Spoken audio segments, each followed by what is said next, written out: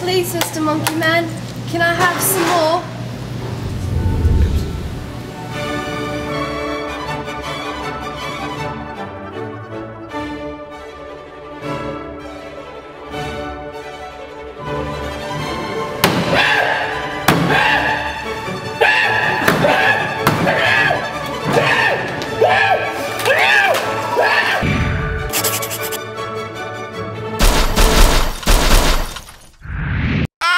Stop.